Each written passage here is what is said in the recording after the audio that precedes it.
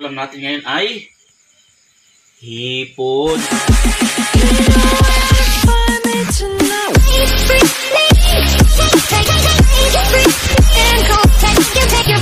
Hello mga kadayb, magandang gabi at yun nga ay magluluto tayo ng ating hapunan.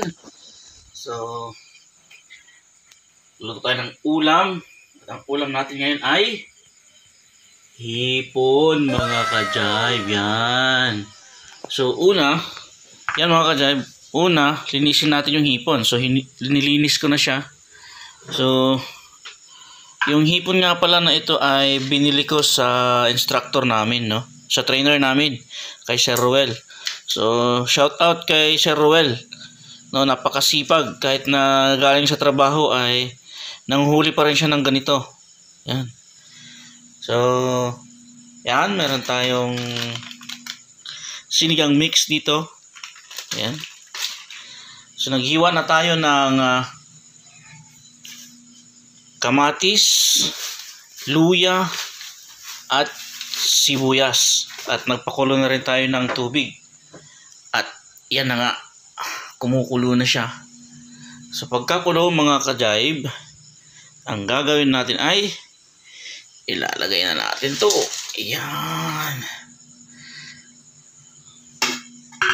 So natimplahan ko na nga pala yan mga kajaib. No? Natimplahan ko na siya ng asin. So, yan, pagkatimpla ng asin, bubuhos na natin yon. Lulutuin lang natin ng konti yan. No? Haluin lang natin.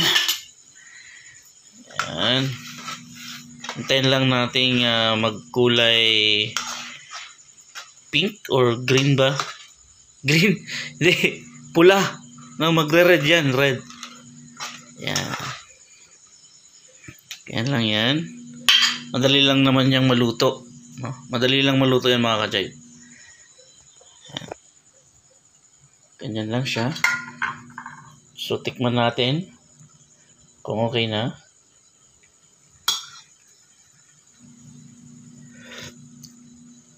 Hmm, yummy na. Okay na yung lasa. So, titimplahan ko lang siyang konti. No? Lagyan lang natin ng konting Tadan! Magic sarap. no? Yan. So, abangan natin mamaya, mga kajay, pag naluto na siya. At, yun nga palang sinigang natin ay, o sinigang mix natin ay, sinigang sa sampalok na may gabi. Kaya ganyan, yung, kul- yung ano, medyo malapot-lapot. No, wala kasi tayong ibang gagamitin, kaya yan na lang. Pwede naman yun. Yan. So wala tayong ibang gagamitin na na sinigang mix kaya yan na lang muna o wala tayong ibang pang-asim dito kaya yan lang. So yan mga kajay. Oh, bumubula, bumubula-bula. Dahil sinigang sa gabi mga kajay. So wala tayong ibang gagamitin eh. So pwede na yan. So okay na to. Luto na to. So kakain na tayo.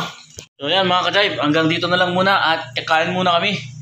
So, di ko na ipapakita kung paano kami kumain.